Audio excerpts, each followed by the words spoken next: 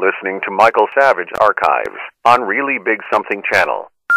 August 18th, 2009.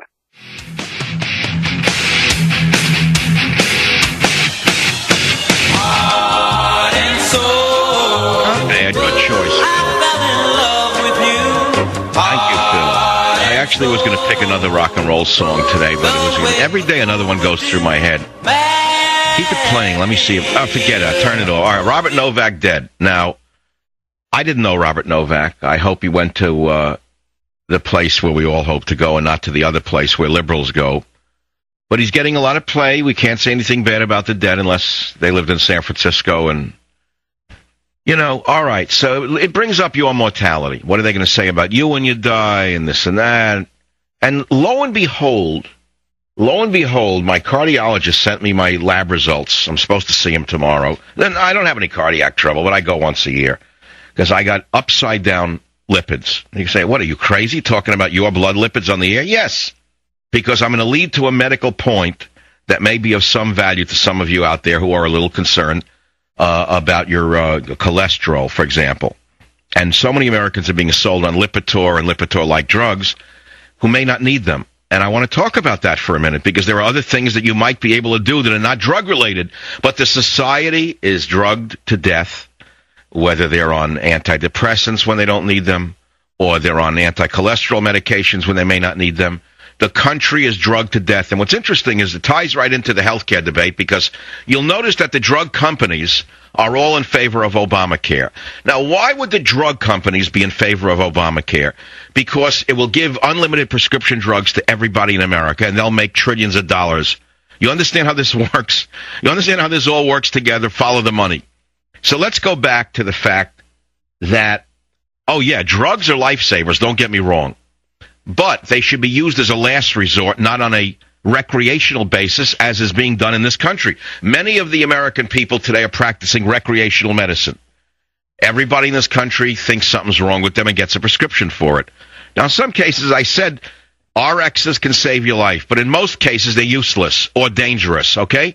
Now, having laid the groundwork for that, I want to go back again to what I'm talking about. For years, I've struggled with upside down uh, VAP uh, profiles, my LDL high, my HDL low, my overall cholesterol through the ceiling, triglycerides high.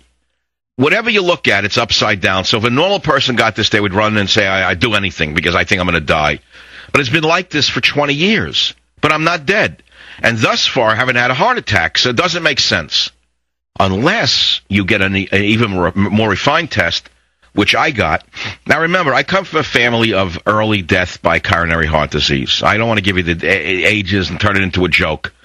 But I've been running scared about a heart attack since I'm 30, maybe 20, which is what drove me into the jungles of the South Seas, collecting plants, drove me to get a PhD in epidemiology and nutrition, drove me to research and write books on health before I went into radio. I'll never forget when I entered radio in 1994, I said, this is probably going to kill me younger than I normally would go, but it'll be worth it. And, you know, every day is a miracle to me, but I'm still here 15 years later, and the stress level's as high as it could be. You have to say, well, how the hell does a guy live like this with this kind of stress? People have said to me, I blow off steam on the air, so therefore I'm alive. All right, that's one way to look at it. It's probably folklorically true. But let me go back to blood chemistry per se. You all know about cholesterol and supposed to keep it low. Well, that's not 100% valid because there are societies where there's very high total cholesterol in the blood and the people don't get heart attacks. And, and so then the people started looking at LDL and HDL, the good and bad cholesterol that you know about. So let's look at the uh, uh, bad cholesterol, LDL, low density lipoproteins. Why are, are, is it so called the bad cholesterol, LDL, low density lipoproteins? Because they're small particles that are thought to penetrate arterial walls and begin to cause plaque formation. Now, why would nature have designed the uh, production of LDL to begin with? Why would a human being produce low density lipoprotein? In other words, there was a reason that nature had bodies produce this substance. Certainly there are dietary factors, but there's a natural phenomenon that goes on as well. And that is, as a person gets older, their arteries become damaged.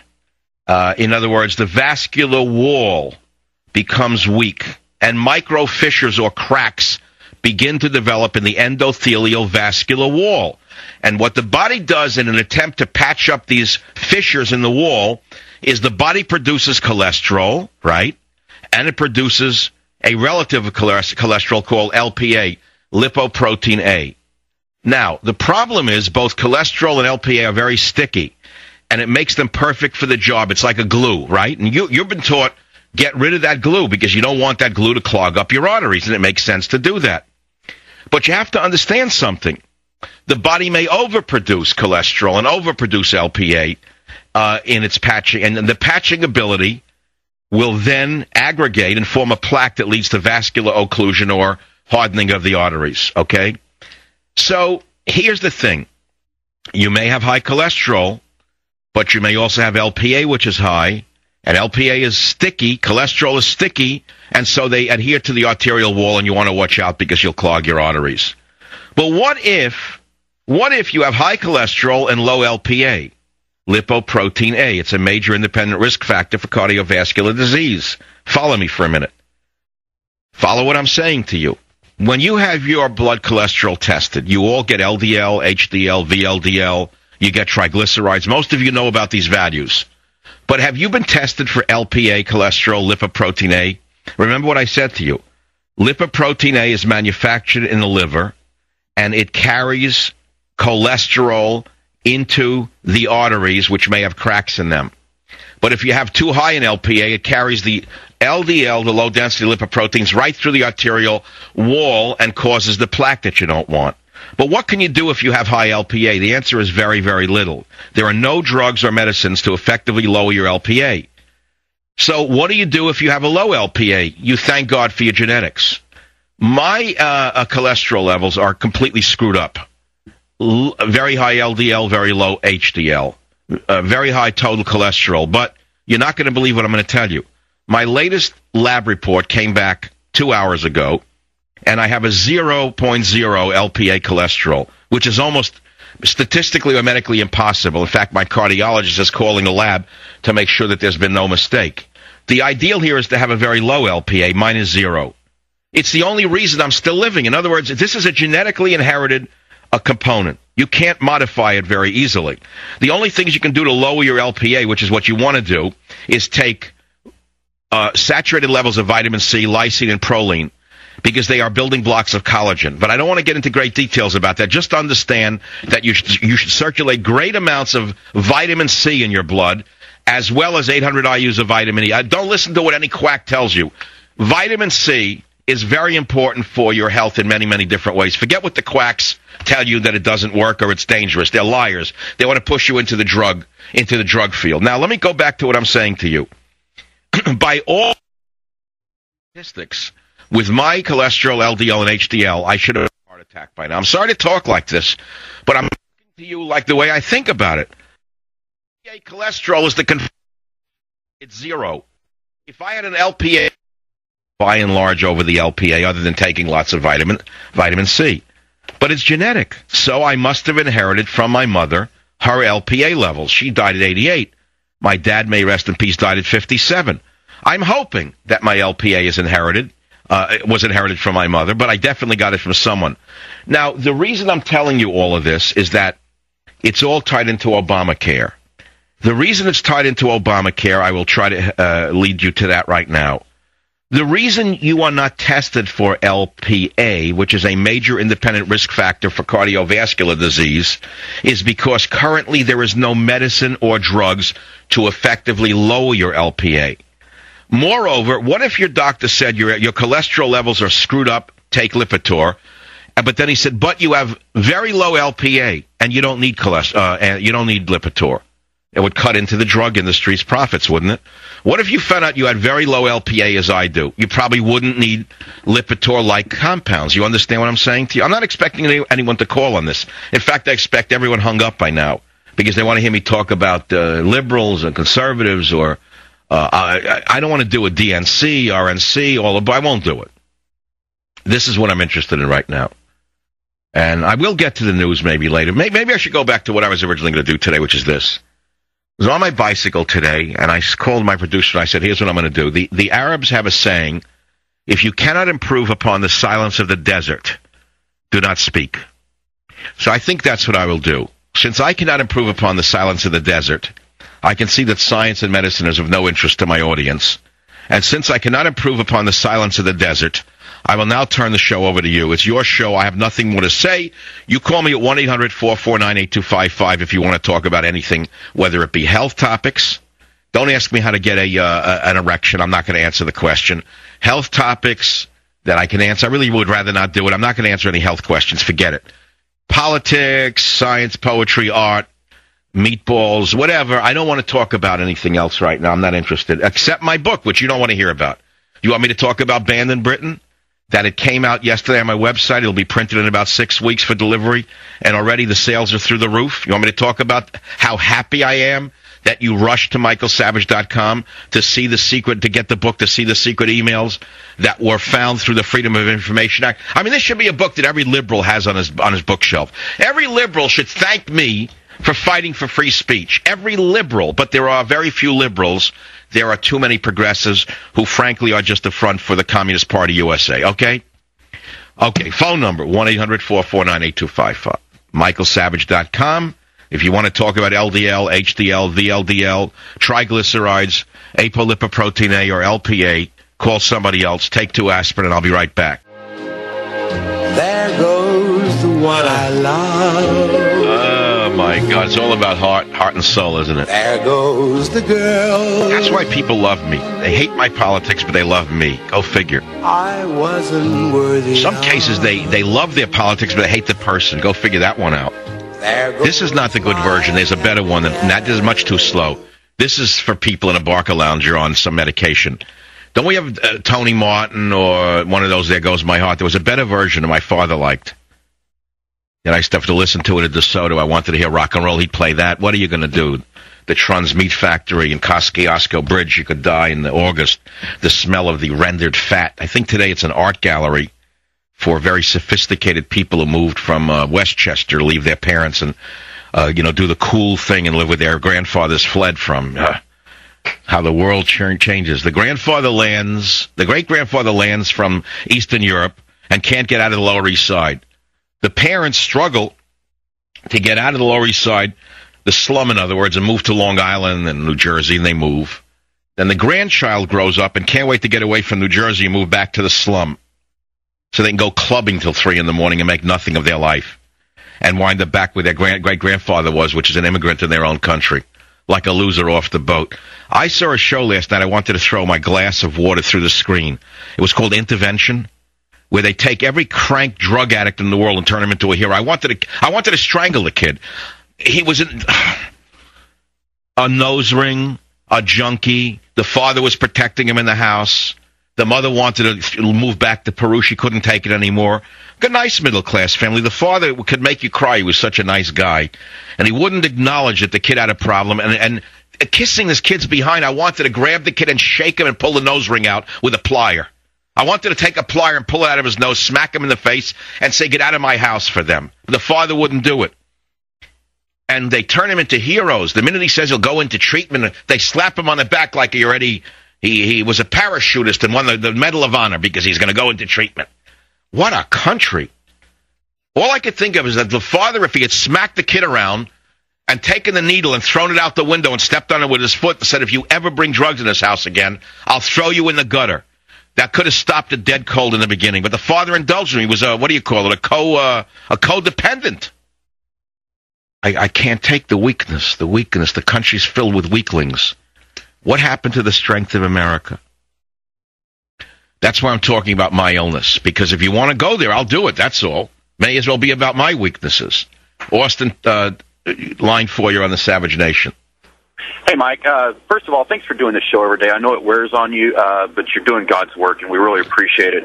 I uh, wanted to thank you for the opening segment. I'm a I'm a relatively young guy. I'm in my mid 30s. I got high triglycerides, and of course, first thing the doctor wants to do on a prescription, and I'm fighting. Right. They want to get you on Lipitor or Lipitor-like drugs. Then they'll want to put you on Prozac-related drugs and turn you into a total a total victim of the medical establishment. definitely. But you know, thanks to you and your uh, what. what Well, uh, now wait a minute. There may be cases where you should be on medication. Don't get me wrong, but you know you could try diet, exercise, and vitamins as a first step. It's certainly less toxic than going into a drug world. Thanks for the call. I know it's coming. I told you before. I was in talk radio. I was a an author of health books, popular health books. I, they did well. I would do book tours, five, ten city tours. They were they were interesting. And every time I would do a book tour and go on a radio show, I remember to this day, wherever I went, the same thing would happen. All the men would call about was, "Can you help me get an erection? And my hair is falling out." They didn't care about cancer. They didn't care about heart disease. Nothing. All the men wanted was perennial youth, so to speak. Well, this is why I don't like to do health shows anymore. I don't want to do a health show today. Please please, can somebody call these people and tell them to leave me alone? I said, if you can't improve upon the uh, silence of the desert, don't say anything.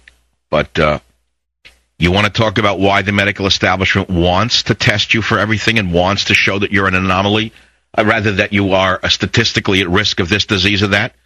You may say, well, it's not as nefarious as that. There are drugs that can help. You're right. There are drugs that can help. And there are very wonderful doctors out there. Don't get me wrong.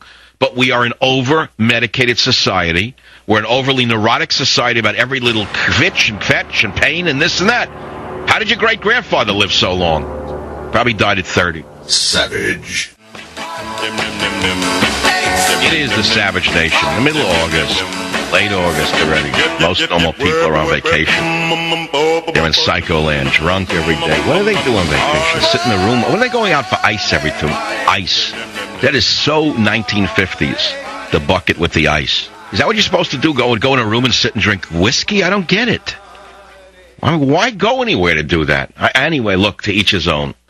I'm a, tr- you know, in that regard, I'm really a libertarian. I've told you that I'm a sexual libertarian. I've said that a hundred times a, a week, but no one seems to hear me. I don't care what you do to stimulate your various body parts. As long as children are left alone and you stay away from marriage, I don't really care. That's all. How hard is that to figure out? So, what am I want to doing here? I'm sitting and drinking tea, doing a radio show. I have a cup. I have a tea. The cup is a naval cup with a wide bottom. I like naval items. Nautical and naval items are my my hobby. Okay. This is a cup I got from a guy in Seattle. It says daily flogging will continue until the crew's morale improves. There. That's interesting. Daily flogging will continue until the crew's morale improves. That's my idea of how to raise, uh, take a child out of being a junkie. Oh, how come you? Why do they coddle them for? You throw the drugs out the window, you step on the hypodermic needle with your boot, and you throw the kid in the street. And that's all. Don't enable him. The, the first sign you got to you got to try strike back. The first sign you strike back. The minute you coddle that child, you're co- you're helping him become a junkie. The the minute you coddle him and understand him, he's finished. You've ruined him. That is the world I am. Uh, that's the world I was brought up in. I say it's too harsh for the world of today. And you know, you may be right. I mean, thinking about it, the world has changed, the society has changed. Take a look at what we have in the White House. Imagine a man like this in the White House 20 years ago? Impossible. How could so many people have fallen for this joker? How is it possible? All right, there were Democrats who were legitimate candidates who had experience and we knew who they were and, and with whom we could trust the country to hand it to them. I wouldn't have liked their policies necessarily, but I didn't have doubts about where they were born, where their loyalties lied. But this guy out of nowhere, he even beat the Hillary Clinton machine. How'd this happen? You say to yourself. Why? Because we have created an entire generation of fools. Fools, idiots, to be fooled by this guy. How do you take the most far left radical senator in history? You know, you got to even look at Barack Obama's senatorial history. How did he become a senator? How is why the Chicago machine make him a senator? Think of Blagojevich, think of Rahm Emanuel, think of Al Capone. Now you have him in the, in, in the in the presidency, and you don't watch The Sopranos. I say to myself every day, no wonder my cholesterol is upside down. But uh, here we are. Here we are. Conservatives now outnumber liberals in all 50 states, says Gallup poll. You hear this? In every state of the union, conservatives self-identify more conservatives than liberals in all 50 states. You would think by turning on the news that 90% of Americans are liberal. They all can't wait for Joseph Stalin's Russia to appear, according to MSNBC. More snotty nonsense by chicks. That includes the men on it, including the guy who urinates. They say he does. I'm sorry. The tall guy with the glasses, they claim he urinates under the table. That's the rumor inside the uh, the uh, uh, the uh, commentary mill. His his legs shake while he broadcasts, and they have to mop up the floor after it. I don't know if it's true. That's what they say. That's what they say. I haven't any idea if there's any truth to that.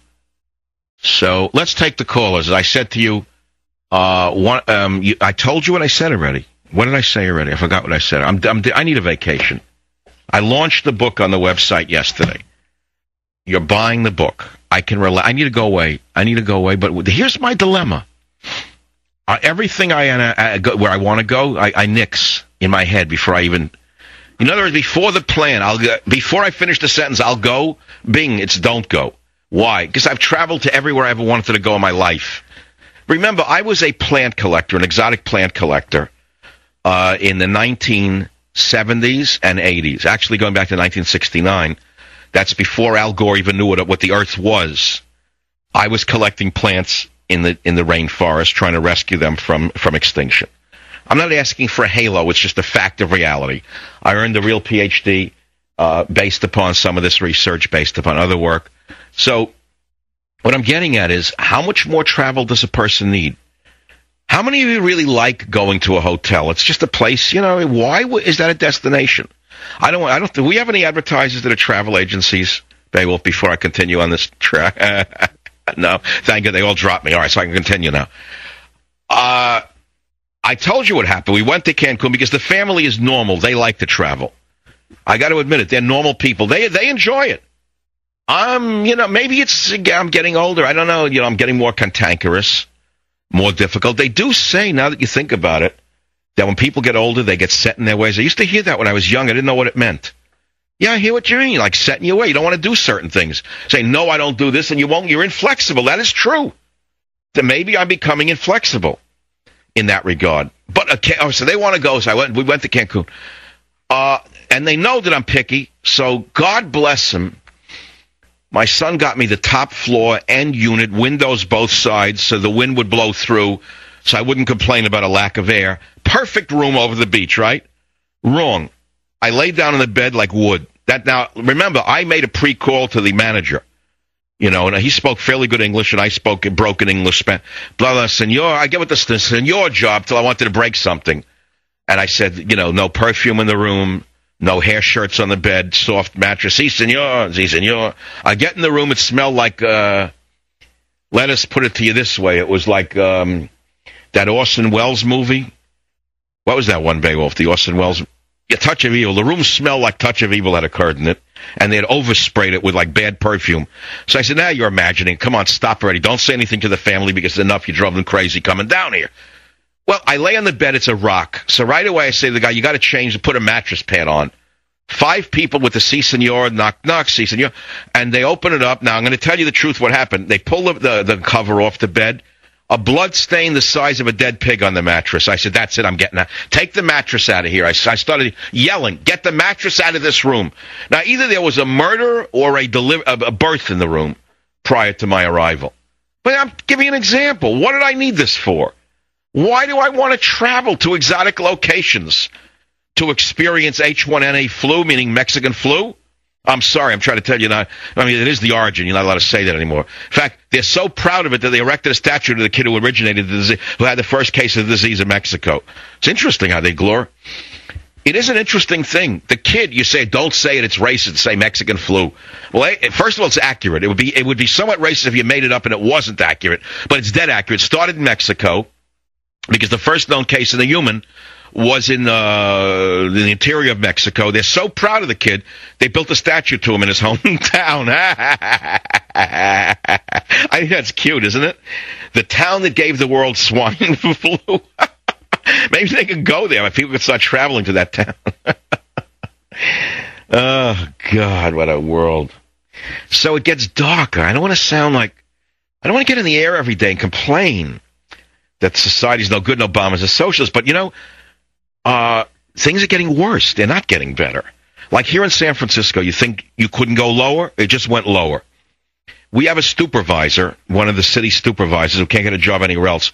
He's trying to pass a law that would shield illegal immigrant youths from prosecution by the federal deportation by the federal government. Perfect way to have kids as drug runners. In other words, if you catch a kid under a certain age running drugs or murdering somebody, this clown wants to make sure he can't be deported. Can you believe I live in a city like this? By definition, the supervisor is enabling criminals. He should be arrested by the federal government. Isn't there a limit to what a supervisor can do? Read about it. It's on michaelsavage.com. Then order my book. Okay? I can't believe how worse it gets. Is there anybody in the city of San Francisco who works for the city who actually represents taxpayers? I don't know of one official who represents the actual taxpayers and citizens. Every one of them represents illegal aliens and some kind of nefarious special interest. So, anywho, here we are, Savage Nation. Or what is the rate uh, August 18th, 2009. You know what the news is. Uh, the guy died. God bless him. You can't say anything bad about him, and I won't. I never, I never paid attention to him. I found he was very sour and very Republican. It was too Republican for me. He was just like an old Republican. Like he, he typified like old Republican to me. They say, well, what's wrong with being an old Republican? Uh, nothing. Okay, nothing. He wasn't my cup of tea. There was nothing delightful. No effervescence. It's like flat. Uh, sel- it's like seltzer without bubbles. The whole thing. Republicans is like seltzer without without carbon dioxide. When you think about it, it's like do you want sparkling or flat? I love that when you go to a restaurant, they build up the bill. Do you want sparkling or flat? I said, I'll take tap water with ice. Because we have very good tap water in San Francisco. They haven't yet found a way to tax it or destroy it. Hetch Hetchy water. As you get me the Hetch Hetchy 09, if you don't mind. The snow melt from last season I would like to drink. It's much tastier than bottled water, I gotta tell you. Delicious, delightful. My dog likes it. If the dog likes it, why shouldn't I like it? But I have a filter. Did you ever look at those water filters that we're talking about uh, health related? You think they're crack uh, quackery? You're wrong. I have like a Moen filter in the you know, old fashioned in the uh, in the sink. I don't have an expensive, you know, twelve million dollar unit in the in the guts of the water system. This is a tap thing that you put in, and as it comes out, the filter catches the the heavy metals. It's amazing when you when it's full. It's a zero percent left, and you take it out. It's heavy. So you say so trapping the, the mercury, the lead, the antimony. It's trapping all the heavy metals that you really don't want in your cells. You know, I mean, it does work. I mean, the dogs, thank God, aren't getting it. I got one dog I love. It's a circus dog. Could do anything. It could have been in the circus, this dog. The other dog, a lunatic, a maniac. It's handicapped mentally, so I don't get mad at it. A lunatic dog. One is 10 pounds. We got the other one to be a goat for the good. The good dog's 10 or 11 pounds, normal toy poodle. I don't call him toy because I don't like the word toy. Just like a condensed poodle. Then we got him like a, a, dog to play with, like the goat for the horse. Remember in The Sopranos, the goat that they before, after the horse was set on fire, the goat was going around. It was very sad outside the stables. It was very, it was touching. Speaking of The Sopranos, I'll tell you the truth. I I watched the first season opening of a Mad Men, a stiff. Now they're getting autistic already. Watch out when the when the producers and directors suddenly want to show you how smart they are and how, how creative they are. It's the end of the series. It was like The Sopranos. It was good for four or five years. Then already they went into dream sequences, a stiff, not enough murder, and not enough sex. It killed the series. It was like when when Woody Allen stopped being Woody Allen and started trying to be uh, who was he one? That Swedish director? Forgot his name already. Who remembers? Not no, not Charlie McCarthy's. Uh, I'm joking. You know, Ingmar Bergman. He wanted to be Bergman, right? Ingmar Bergman. Ingmar Bergman but he tried to be like a very famous director and artistic. His movies stunk, and the only movies he ever did were good was when he played like the schlemiel schmuck. Everyone liked Woody Allen playing the schmuck because it was a stereotype of the schmuck from New York, so everyone laughed at him. But the minute he wanted to show how smart he was and how serious he was, his movies stank. It's the same with what went on with The Sopranos. They were fabulous when they stuck to the main thematic, you know, gangster New Jersey and psychotherapy, the wife with the outfits, the dysfunctional son, excellent. Everyone liked it. Then the minute they got into like season five, it was awful, terrible. And the series started to die. It was awful. Same thing now with Mad Men, in, in my estimation, my analysis. Why? If you watched it at all. The first three seasons were really astoundingly good Mad Men. Already now they go into season four, disc one. I watched it Sunday because I sent it in advance. Now they already have the dream sequence. They're already into the, they're moving into the sexuality a little too much. They went on and on with the stewardess from Pan Am with the naked, with the garter belt and the slip. They're already pandering. No good. Finished. I'll be back. Playing Christmas music because it's a hot, a hot August day, boring like doldrums. where the trees I can't wait. I can't wait for the days to get shorter and then darker early. I like dark at 4:35. so I can eat dinner. I can't eat while the sun's out. I can go blind. Last night was like forever. Show was over. I got in the van. I have a, like a camper van I take out in the summer. I went riding around with the dog. I go down to Sausalito. That's a beautiful waterfront town. And there's no one around. I sit by the water. I look at the boats. I look at the. There's no one there. It's like gloomy. I like it though. And then I couldn't till a tick tock, tick tock, waiting for the sun to set. I go in a restaurant figuring it'll be down by the time I'm out. I come out I almost went blind. It hit me right in the eyes. It's going down behind Mount Tamalpais. Right at the wrong way as I got into the car. I couldn't get away from it. I felt like I was being pursued by the sun. I, I can't get away from it. I can't take it anymore. I can't wait for winter and dark. So I'm thinking, where on earth today is it winter? Is there a place? I mean, I know about, you know, the other side. Like, if I went to Peru right now, would it be cold? Where can I go right now where it's snowing? Where's it snowing right now? I'll go there for vacation. I wouldn't go there. I remember the uh, the thing in the 1950s in the Antarctic. That was a great movie. I always like to say I should have been an Antarctic scientist and lived in a Quonset hut with uh, other scientists, like with pipes and be. what are they doing at Quonset hut for six months at a time? They're not allowed to drink if you work for the NS, National Science Foundation or NASA. Now you know, like work, you sit in the. What do they do at night there? I'm going to sleep now, John. Oh, you got the shift in the morning. You, what, will they just lay down and go to sleep? How do they deal with that? They have to be on medication. I would think that all of the government scientists in those sh- in those Quonset huts, they're drugged. There's no way they can get through a winter like that. It's always winter there. Because I was thinking like cold. I was trying to like put my mind in that state. So I was thinking about Christmas time when I was a teenager, and I worked in my friend's father's clothing store Christmas time. I don't know where it was. Lefferts Boulevard, Jamaica Avenue, something like under an L. But I remembered this the cheerfulness in the air at Christmas time in my friend's father's clothing store. Every you know, like the door would ring. It was right out of Dickens. The door it had a bell on the door, and it was like it was like a, not really upscale, but not downscale, but a little on the upper scale. Like they had um, men's cologne in a section. It's an age when clothing stores had men's cologne, such as Old Spice. Now that was exotic for me because in my house, um, cologne on men was frowned upon. Oh, no one was allowed. No man with cologne was allowed allowed around my house. He was like, "Hey, what, what's he wearing cologne for?" You know. But anyway, so guys, you hear like the bell would ring, jingling. It was like Dickens. Everybody was happy, cheerful.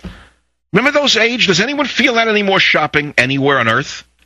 The happiness in the air, the cheerfulness around Christmas time. And you know they taught you how to make a package. The kids can't even make a package. I buy something in Macy's, they throw it, they roll it up and throw it in a bag. I swear to God, I buy a pair of pants. The schmuck rolls it up like a ball and throws it in, in a bag. I said, "Hey, that's not a way to put a pair of pants in. Put it on a damn hanger for me." Well, we don't have any hangers. I said, "Well, go buy one." I'm not taking it in a bag. Like a, they give you bags that look like garbage bags. You come out of Macy's, it makes you look like you're homeless. I'm ashamed. I got to dash to the trunk of the car. But you go in that store, and you know they you like a shirt, whatever shirt, scarf, whatever. Everyone was happy. There'll be 1992, 95. You ring it up, ding ding, and the kid. I was the kid, and you'd package it properly. They taught you right away how to package, how to make a package, a proper way to fold, like craft paper, because it had to look good. Uh, how many people how to make a package anymore? I don't even a, a simple thing like that. You say, why are you talking about it? Because I don't know why am I talking about it. I like making a package and giving it to them with scotch tape. You like pull zip, and you gave it to them with a bow on it. Everyone went out happy. There was no anger. Not everybody was pissed off at everybody. They didn't assume you were cheating them. That the man was out to rob them. They bought a shirt. They bought a scarf. They bought a glove. You wrapped it. They paid, and that was the end of the story. They didn't come back after it was used. They didn't use it in an orgy and say it doesn't fit. Give me my money back like they do today in the stores. No wonder they're going out of business. Why a returns policy?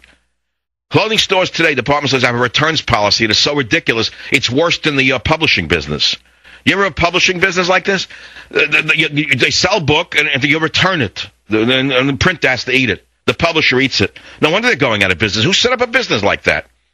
They print 10,000 copies, send them out to the stores. They don't sell 6,000. They return them to the store, and uh, they return them to the printer, and he has to burn them. I, uh, to the store, rather. I don't understand how anybody makes a living doing that. That's why I say, you know, they're, they're out of business. Bad business management. They don't know anything about business publishers. Nothing. Zero. Today it's internet. It's internet. It's, uh, that's the whole way to sell a book. And luckily, banned in Britain. See, it's all an ad. That's all. My whole life. That's not true. Come on. But uh, there it was. It was nice. The store. What's the name of that lime water with straw in the bottle? Like lime. I saw it in a bad clothing store yesterday. Like a big fake bottle of it, a display size. Ugh. I would. Who would buy anything in that store? Like a fake lime bottle. Savage. You are listening to Michael Savage Archives on Really Big Something Channel.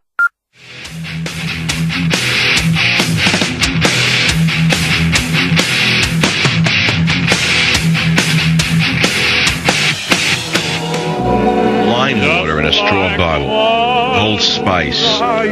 Packaging. Happiness. Christmas time. Welcome to the Savage Nation. It's a different America. Different time, that's all. Today everyone's angry. Even when they shop, they're mad. You ever see women come out of stores? Uh, they buy, even if they buy exp- why are they angry? What, where'd the pissed off attitude come from? Everyone's angry over something. I'm angry all the time. I mean, I'm just asking why.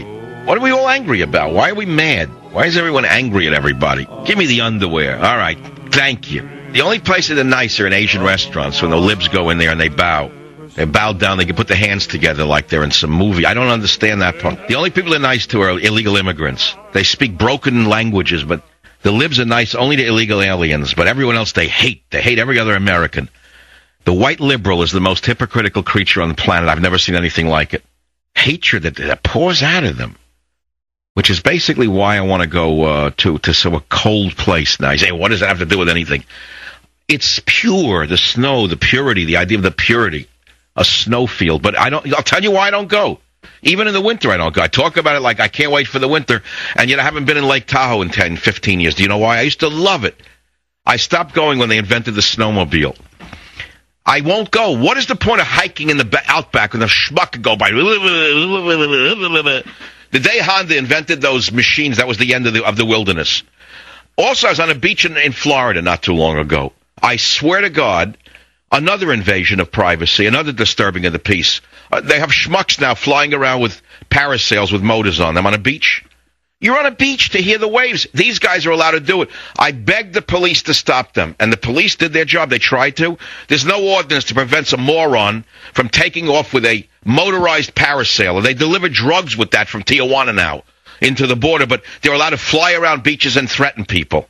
Who would do a thing like that? Everywhere you go on the planet, there's somebody trying to get under your skin and disturb you. Don't tell me they're doing it because they love the sheer joy of motor or whatever in the backwoods. What do you do that for? Everything's wrecked. So I stay home. I bicycle or go hike where no one is, or go on a ride at the end of the day when no one's around. I like to eat in restaurants at the end of the day, like not just before closing because that's that's a stress on the staff. Not exactly just before closing because you're going to wind up with bad food and, and a hostile staff. But let's say they close at ten, you want to eat at nine. Don't get there at a quarter to ten and expect to be treated well. I, you know, I was a busboy. I was a waiter. I was a lifeguard. I was a factory worker. I know what it is to, to labor. You know, don't don't think say they don't like you if you come in at a quarter to ten. I like when it's dark and the kiddies are home on Ritalin, and that's the time to eat. When they've been drugged, so the parents can take their drugs. That's the time when you can go and. I'm joking. Come on. I'm just pulling. Certain things I say, I do it for effect or to get your, you get your goat. That's all. You want me to do politics? Then call me with a political question. You want me to do personal? Then call me with a personal question. I probably won't. I probably won't answer it. I'm giddy today because the lipoprotein A came back as zero. If you just tuned in, you missed a great hour.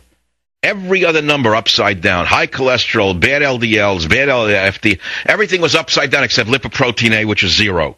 Which I don't think is a. There's got to be something wrong. I know it was going to be low. Because, uh, shut up already with that. I know it was going to be low but uh, I didn't know it'd be zero. How could it be zero? It's impossible to be zero. That's inherited. That explains why I can abuse myself with food and still not die.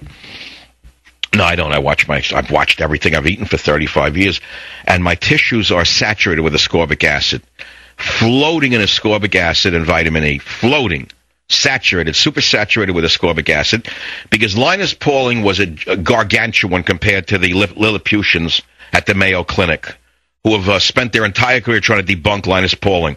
It seems that they only the only studies they want to do are to debunk Linus Pauling to make a vitamin C doesn't work. The only thing that works is the the quacks who killed Ernest Hemingway. I never forgave the Mayo Clinic because he was he was clinically depressed, Ernest Hemingway. If you studied him, which I did, because I revered him, he was like a, a hero of mine. Tense, good-looking women with horse faces, uh, shiksa upscale. Everything was everything was upscale. Hunting with women who were like hunting outfits. I know one in my family ever wore a hunting outfit, but like that kind of woman wore hunting outfits, fishing outfits, and he was in a tent with them in a Kilimanjaro, drinking in a tent. Whoever heard of Then eventually, years later, he becomes depressed from the booze or whatever. So they try to take him for treatment. They take him to the Mayo Clinic. They give him electroshock therapy. He can't write anymore. His mind doesn't work. So the next time they take him for another electroshock treatment, he walks out of the clinic and tries to walk into the propeller of the private plane because he didn't want to live anymore because his mind didn't work. That that's you know that to me was an example of what was wrong, everything wrong with the psychotherapeutic profession. You can't drug everything out of a person. So that may, that may be why I'm angry. I don't know. That could, but it, it goes back. There's just stream of consciousness. Don't get excited. Don't try to make it all connect because it won't. I'm talking here. When I start to talk, I have a gift to connect things up that don't actually connect. But in a weird way, they could connect if you actually drew a line through them, there's some connection that I can't figure out yet. You'll have to do it uh, when uh, Boswell comes along. Santa Fe, New Mexico. Brian, thanks for waiting. You're on the Savage Nation. Hey, Mike, how's it going? Um, I'm an addicted liberal to your show, and um, I'm disgusted by the fact that your book's not only banned in Britain, but further disgusted that it's banned on Publishers Row. But I want you to know that that adds to the intrigue of the book, and that's why you're getting so many orders on the internet. Now, my question is this. What can a liberal glean from the book, other than the fact that free speech is in jeopardy? There's a Bolshevik in office, and the other, the only alternative in voting was for a schmuck with a nut job over energy. What can a liberal? You're my kind of guy. At least you talk real. Uh, well, you can get a lot from the book. First of all, you can come to understand that most progressives are not liberals. Intolerance is not a liberal value. Intolerance is a value of the progressives who have hijacked liberalism. That's number one. And that is why the progressives in England banned my book. It's a warning in a way. It's a kind of it's a kind of book that a liberal should buy. In fact, liberals should buy the book to say, look what happens when liberalism is hijacked. You know, like Islam, we, we, we know has been hijacked, let's say, by the Taliban, by radical Islamists, right? And they take a religion, they say, in the name of religion, I hereby declare you must follow my way or I'll kill you or cut your head off. It's the same with progressives hijacking liberalism. They steal liberalism and they say, in the name of liberalism, you must think this way, you must think that way, you must say this, you must not say that. That is why my book was banned in Britain. You know what's going to be interesting, Brian, as a, as a true liberal, is this. I'm going to ask you a question because you seem to know what you're talking about. what if I get orders from England for this book? Will my book be banned in England? That's going to be interesting if that happens, wouldn't it? That would be very interesting. I'm sure you're going to. If I was in Britain and I listened and I had been a listener of your show, maybe in the states or in Britain prior to you being banned, I'd be furious right now. And now you live in Santa Fe, which is like sort of uh, Marin County, Austin, Texas. Everyone's a super lib, right? Yep, super. Super lib, and they all believe in global warming. They'll believe in global warming, the energy crisis. They believe in a lot of nonsense. Do they, they worship Gaia? I mean, I don't know, but they all have these friggin' license plates that say Obamanos. It makes me sick. Oh, so they've been Obatomized. They've all had an Obotomy. Yeah. all right, Brian, I'll tell you what I'm going to do. I haven't done it yet. I'm giving you a free copy of Psychological Nudity. In fact, because you're a liberal who wants to reach out across the aisle, I'm going to reserve a copy for free for Brian. Take his name, guys, and send it to my fulfillment house in Florida. One free copy of a psycho. It's not psychological a banned in Britain. I'm sorry. He gets banned in Britain when it's published. That's so. Next case. Sherry in New York on WOR. Thanks for waiting. You're on the Savage Nation. Dr. Savage, I'm calling in tonight because you had said something earlier that uh, really struck a chord with me. You mentioned about telling your stories and that people were probably hanging up by now and tuning out. And I wanted you to know that we're not hanging up and tuning out. We're turning the volume up on the radio so that we can hear you even more clearly. Last uh, Thanksgiving, two days before Thanksgiving, I had an intentionally negligent landlord burn down my home. He murdered both of my dogs. I had one dog that was 16, and I had an eight month old beagle puppy. I knew logically that I should sue him, and I had legal ground. But when it came time to walk into that courtroom to face that monster, I had to gain strength somewhere. So I looked up to God and I said, What would my father do? And then I smiled and I said, What would Dr. Savage do? And I opened. Me, I would. Me, I, I don't want to tell you what I would have done because I'd be arrested for saying it. Well, I- you have no idea what it took to open that courtroom door and to walk in there and to face that monster and to tell him you're not going to. Oh, oh, you did. You did go in there. Oh, yes, sir, I did. I looked up to God and I said, What would my father do? All right, so you went in and you faced him. I hope the SOB got what he deserved. Well, I got a sizable settlement, and now we're going to the Attorney General in New Jersey, and we're hoping to have his license taken so that he'll never do this to anybody else What, again. what, what do you mean his license? He's a landlord with a license for what? A plumber. He was storing his explosive plumbing equipment right up against the place I lived in. My attorney sent a letter But is out. this guy? Before I get de- de- into this case in any detail, because I wouldn't know if it's something I can comment on. Are you saying this has been proven? That's why your house burned down. Did he intentionally burn your house down? He was storing explosives up against my bedroom wall, and when we went to court, the jury, the uh, insurance company decided that they were going to give me an award rather than even bothering to take it to a jury because they'd get creamed. Okay, so in other words, there was clear negligence on the part of the landlord in the way he was storing the plumbing supplies, but he didn't intentionally burn your house down. Well, that's debatable. The New Jersey uh, State Police are But Sherry, why would he have burnt your house down? Why would he burn your house down? For what? because unfortunately there are people that don't care about anything on earth other than their own needs. And when he was told by my attorney to get that stuff out, he looked at us. Okay, so you had told him to get the stuff out of the off the property. yes, that's All right. Well, now we're bordering on like a bad uh, uh, legal show, but I, I certainly appreciate it. Thank you for the call because there is a couple. There are a few legal shows around lawyers trying to shyster a few uh, clients. You know, I'm not into that. So, what do you need a lawyer for, huh? You're calling for a lawyer, huh? I love those shows. You don't really need a lawyer. What are you calling for a lawyer for? What do you need a lawyer for? Just go to Don Corleone. Settle it the old way. I'll be right back. If you want So here we are, here we are in the midst of a whole changing tide in the United States of America. for the holiday. And uh, we know what the score is. You know, in other words, where I stand on everything. So why should I repeat it every day till I get my blood pressure through the ceiling? You know where I stand. So I'd rather I say, if you can't improve upon the uh, silence of the desert, it's po- pointless to talk. So you can call me with questions and I'll give you the answers. That's all. New York, WOR. George, you're up on the Savage Nation. Topic, please. Uh, Dr. Savage, I spoke to you once before about growing up in the city. Remember opening up fire hydrants? Yes. Okay, uh, I got your book. Thank you. It's wonderful. And there was a segment in there about the Wax Museum in Coney Island. Oh my God! Yeah, that was frightening. My grandfather and uncle dragged me there. I was about seven or eight years old, and we went in there, and I was tolerating the the statues of uh, Hitler and Stalin and all the rest. And then we came into the murder room, the murder row, and there was a uh, a graphic depiction of a man skinning a child in a bathtub. And that trauma The one that sticks with me to this day was a guy who uh, they found hiding in a chicken coop in New Jersey, who had uh, with dismembered body parts under his bed. To this day, I have nightmares about it. That's in psychological nudity, right, George? Yes, sir. Terrible. I don't even want to think about it. I'm sorry. I can't. I'm sorry, George. I gotta. I gotta go.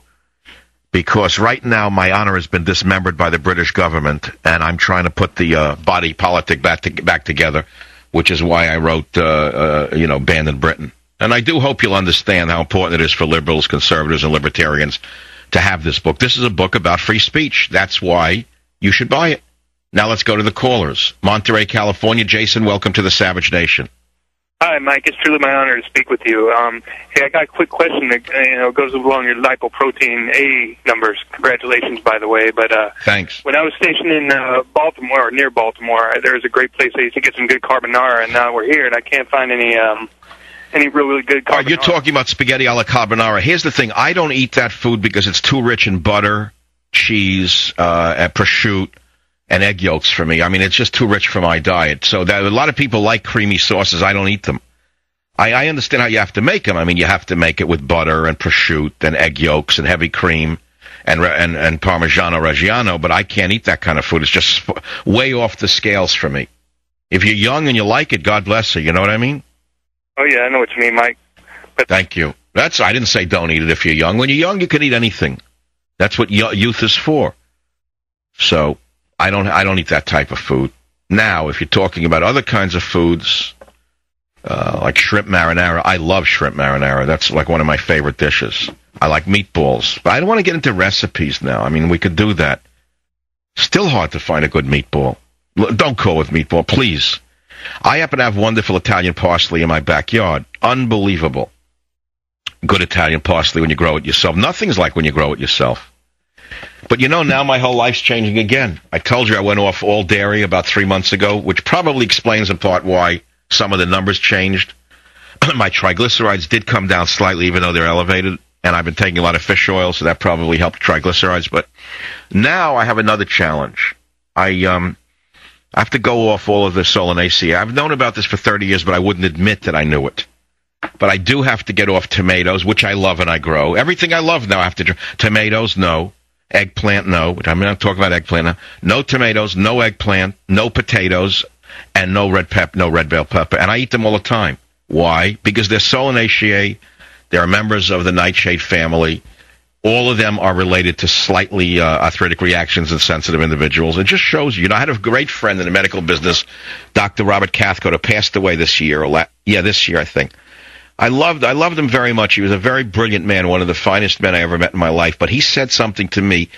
He worked very closely with Linus Paul, Linus Pauling. He actually was a clinician who treated over 50,000 people with mega doses of vitamin C. He knew, knew more about it than anybody on earth.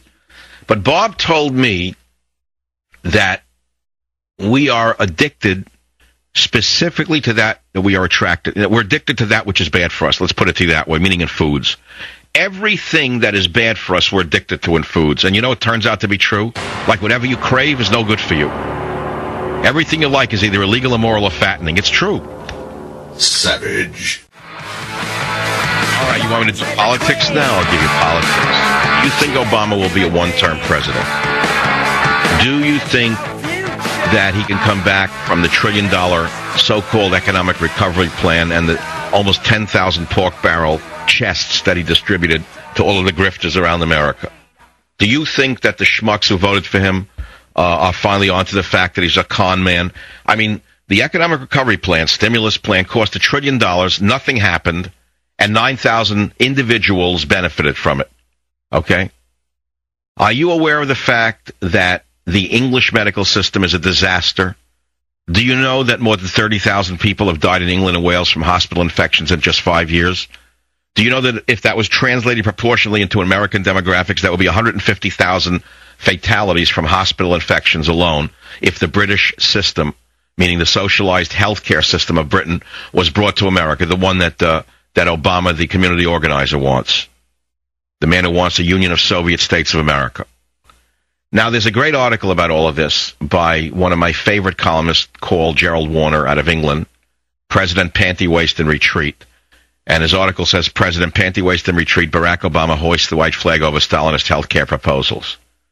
And I would recommend that you read it on michaelsavage.com. He says Obama's plan for socialized health care on the Stalinist model across the United States is now in full retreat.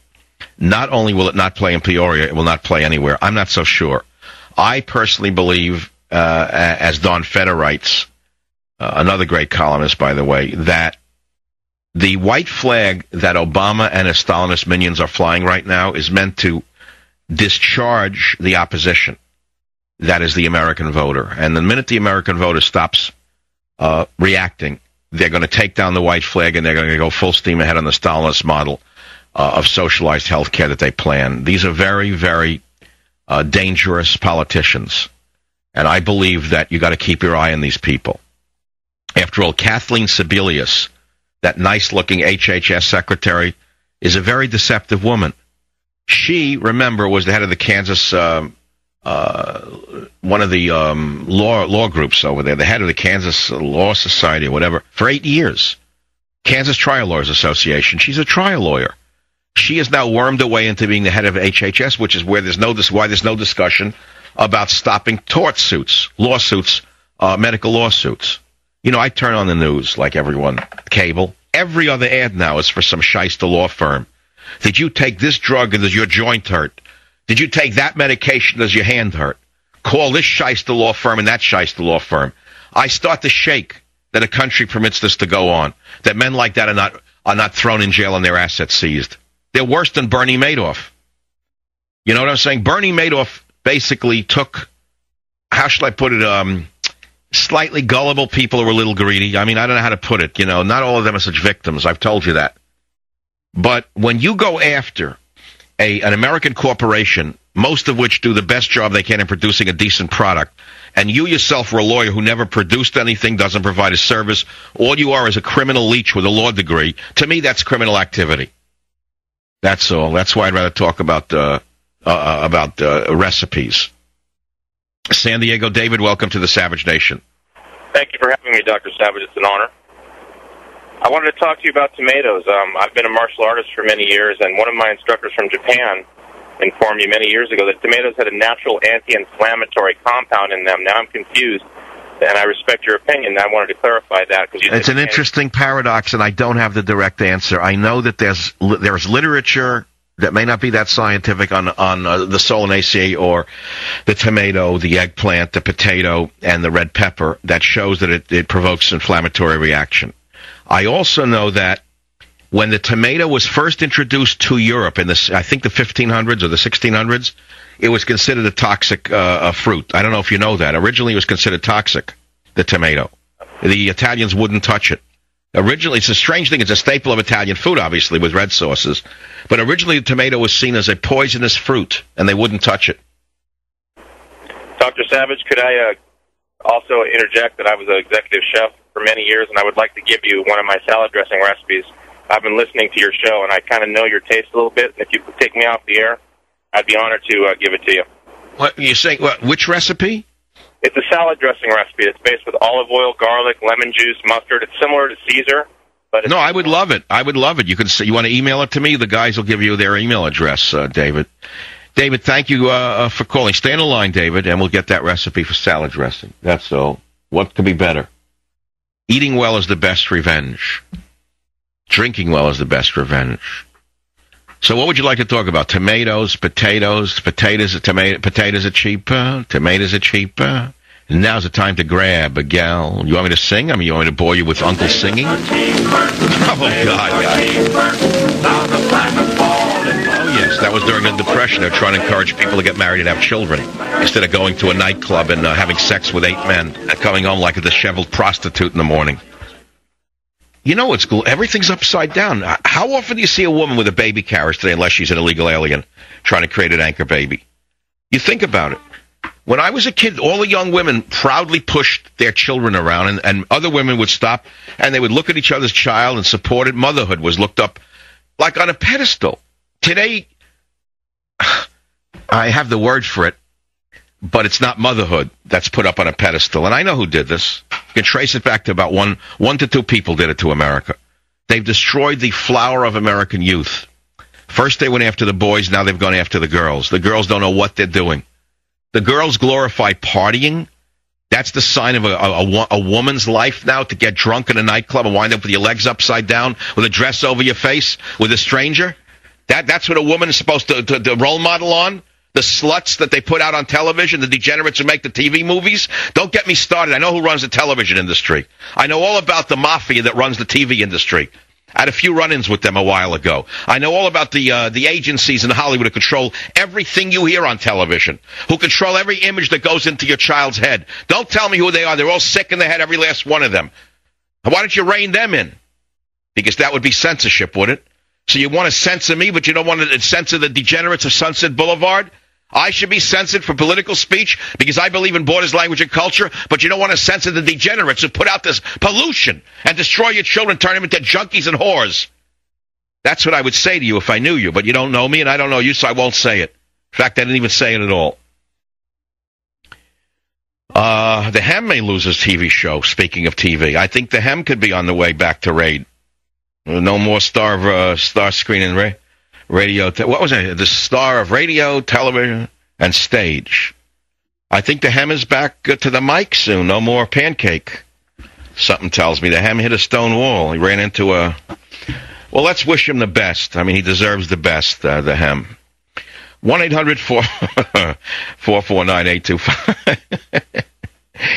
Let's see. What do you want me to do? Read the secret emails. It's an important book. I'm not going to hammer it too much because you're going to buy it anyway.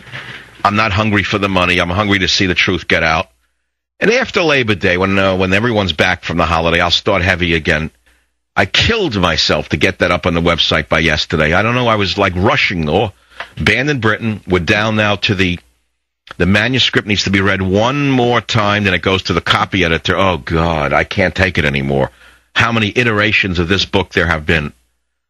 You can go blind from doing a book. There's, is easier ways to make money than writing books. Let me tell you, particularly good books. Now, if you're the hemorrhoid, what you do is you take books that other people have written that you steal, and you have a, a ghostwriter put paraphrases around Thomas Paine's writings, and you call it your book. You know, you code it with a little preparation H, and, and the American people think you. It's unbelievable to me what passes for a book today. They put their name on it, and it's not a book. I write real books. I write Persian miniatures. Each of my books is a classic. I take pride in it. I'm actually a writer by training and by inclination because I'm a quiet person. I know you don't believe it. I really am a quiet person. I, I feel like taking a vow of silence, but I can't do it yet. I, that's why I started the show. That's I know there's an Arabic Arabic saying uh, that says if you cannot improve upon the silence of the of the desert, don't speak. I like that. Of course, that was a way of controlling uh, people. Fine, but it's actually very well put. Silence is golden in a way. But how do you go from this to you know from a thousand to zero? How do you take him in as a test pilot, basically, and tell him to never fly again? I'm like a test pilot. Every day I get up and fly at supersonic uh, speeds and at supersonic altitudes. 80,000 feet, 85,000 feet. I fly till the wings almost fall off the plane. In fact, sometimes they have fallen off the plane and I've had a parachute out of some of the test craft. I think I've bailed out five times now and survived. But how do you go from that life to zero? How is it possible? I don't know if I just fish. Just, I don't know. Maybe it's possible. I admire people who taciturn. Don't get me wrong. I don't think everyone has to be hyperverbal to, to be intelligent. I learned that there are very intelligent people who don't speak very well or don't speak at all. I understand that as well. But I don't think you can just turn it off. It'd be like taking a silent person and saying, here's a microphone, talk for three hours a day, make sense, be humorous, be entertaining, keep the show going, keep a hundred balls in the air, and, and have people come back for more. Impossible. So the reverse is true too. Now you could say meditation. I don't believe in meditation. Talk about things like that. I tried it. It's like I remember the years I tried to meditate. I sat on the floor and put my hands together with other people. I couldn't wait to get out of there. I almost went nuts from it. What do you mean meditation? How can you enforce meditation on people unless they're in a prison? Remember the age of feedback, biofeedback, that Hazarai, that they made it up, biofeed. remember the biofeedback? I remember once I went to a doctor in the 80s for something. I don't know what it was. I already showed signs and was worried about it, but said, try biofeedback. I didn't know what it was like. Sat with like a thing, a machine that has slight hum with a wire, and I was supposed to stare at it. And I picked up a signal. I was supposed to send back the signal. Picked up. The, you know I decided to do? Watch more television because the alpha waves was something I could tune in, tune into, and send back waves to. You know what I mean? The alpha waves of television worked for me. I tried them. I couldn't do biofeedback. I can't do meditation. It's the same with yoga. I don't understand yoga. I'm not saying that there isn't anything to it. But it's again, to each his own. It's not for me. Again, I can't sit on a floor with a leotard and bend over and twist my legs up and down. They're like modified sexual postures from the Kama Sutra to begin with. Let me give you my in- intuition on it anyway. I'll tell you later another time. If this wasn't a family show, I'll tell you where yoga came from. You have to trace it back to the Kama Sutra and the positions in the Kama Sutra. Then you got to understand that a lot of the people in those ancient days were manipulators, and the people were all serfs. And they, they basically told people what to do. They so come in. I wouldn't go into the sexual things. All right, we're going to meditate now. Bend over that way and put your leg over your head and you know, sit there and hum, and I'll be back in three hours. All right, I'm going to take a break now. It is the Savage Nation. We're talking about this and that, that and this on the Savage Nation, from politics to, to recipes to lipoprotein, lipoprotein A, whatever you want to talk about on the Savage Nation. I mean, I think that's what makes talk radio fabulous. Uh, Richard in Florida, you're next up. Go ahead, please. Uh, yes, Dr. Savage. Uh, I haven't heard you really talk much about art, and I was curious uh, what movement in the 20th century uh, did you have a liking for, or Okay, it's a good question. Now, I know when you say 20th century, there are limitations, but uh, I'd have to go back to the Impressionists, which, of course, may not meet that uh, that time frame. Is that correct? Well, you're right, but I, I meant those two. They were late, more. They were the late 19th century. But uh, I just wondered how you thought about the German expressionists or the, you know, the Fauves. Look, everyone has their own tastes. I am still attached mostly to uh, the era of Gauguin. I still, if I go to a museum, I go immediately to the Impressionists. You could say I grew up on them. I mean, we didn't have any in my house, but I always gravitated to Gauguin as my favorite. In fact, when I was able, when I was older and collecting plants in the South Pacific, I made certain to visit some of the islands uh, in in the in the in the chain in which he in, he lived. Hiva Oh, I mean, these are amazing places to go to. You have to go to the Marquesas, one of the uh, most uh, uh, obscure islands on Earth, to see where he painted and the people actually looked like he made them in his paintings with those very, very dramatically angular faces. The the land of the man, the land of man. I, I'm still nuts about almost everything Picasso has ever done.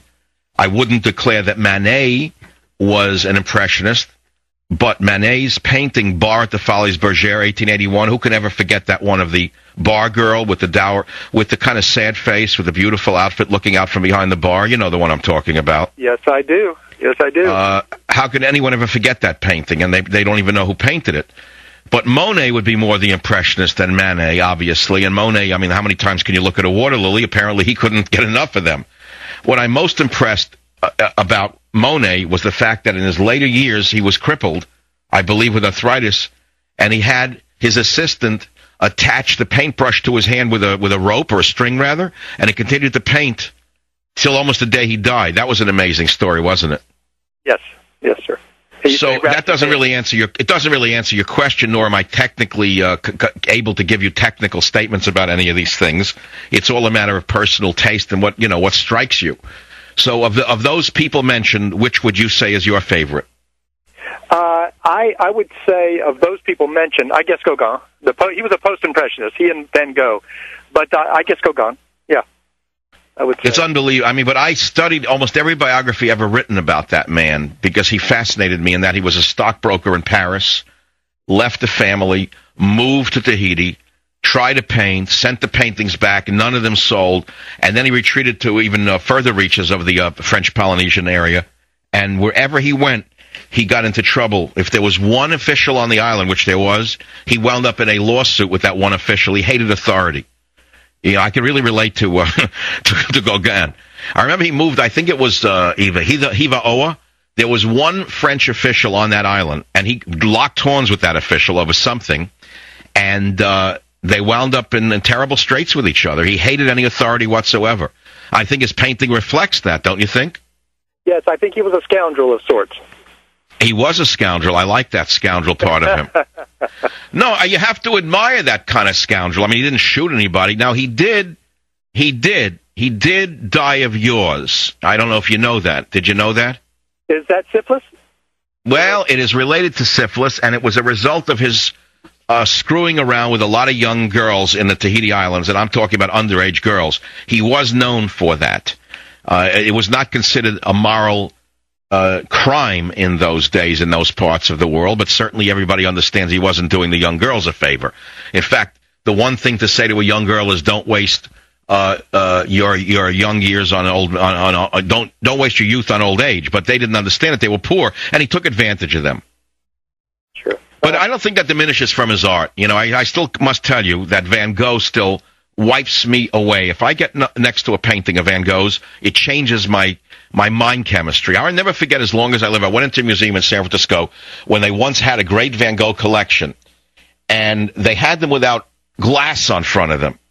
And there's one painting that he painted toward the end of his life when he was totally crazy, when he was losing his mind completely, and the thickness of the oil and the swirls. If you look very close at his face, if you got within an inch of his painting, which I did, they let you get that close. That's before the psycho started coming into museums and, and slashing paintings. You had to get real close to that that that Van Gogh portrait, self portrait. the painting were it was in swirls of his own face, And when you looked right at it, you, you no longer saw a face. What you saw was swirls of color going in circles, which probably mimicked what was going on inside his head in a way that nobody can understand unless you're crazy, because there's a certain joy in being mad that only madmen know, as one uh, in, in writer wrote. The phone number here, I don't want to give you anymore. I just want the man ask me a question. I gave him an answer.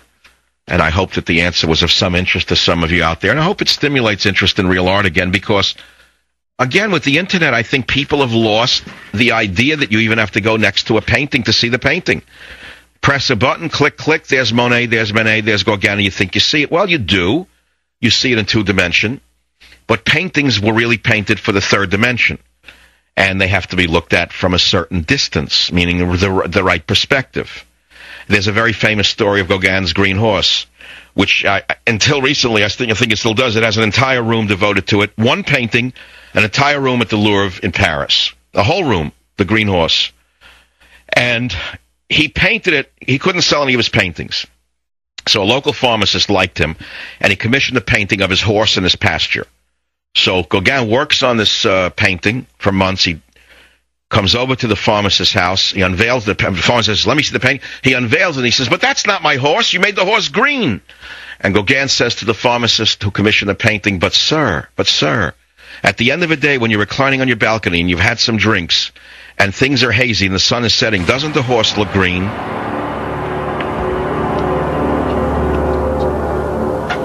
Savage. You are listening to Michael Savage Archives on Really Big Something Channel.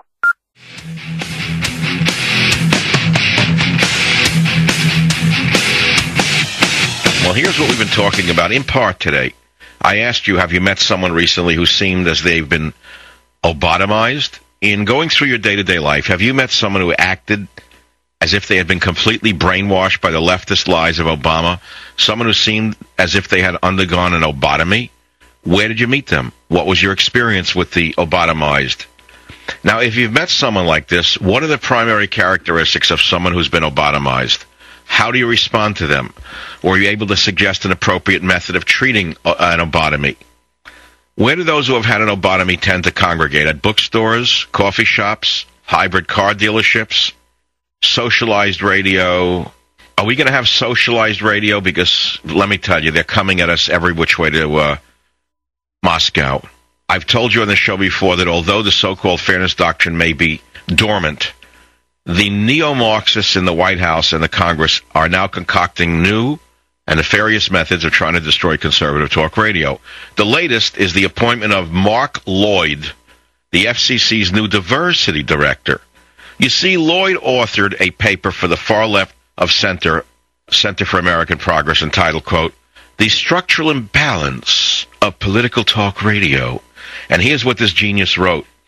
Any effort to encourage more responsive and balanced radio programming will first require steps to increase localism and diversify radio station ownership to better meet local and community needs. In other words, Radio Free Zimbabwe.